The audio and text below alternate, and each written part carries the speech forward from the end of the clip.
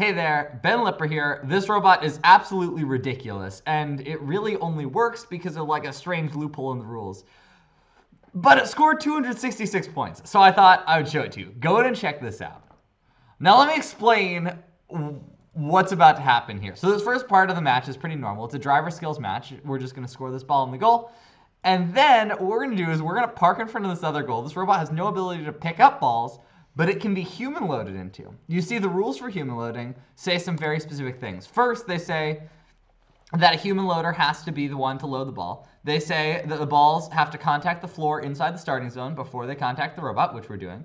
And they cannot be in contact with the human loader and the robot at the same time. You'll notice that's not happening either. Um, it also says that rapid loaded balls cannot contact the goal wall or the floor outside the starting zone before being retrieved by a robot. These balls are in the air. They're not contacting the floor or the field wall.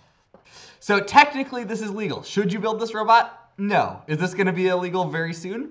Most likely yes. This is kind of just a loophole in the game that we happen to find.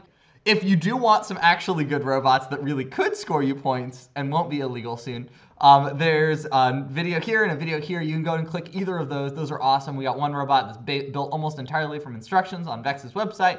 Got another robot. This robot is slightly more challenging to build, um, but drives faster and is really cool as well. So go and check out one of those.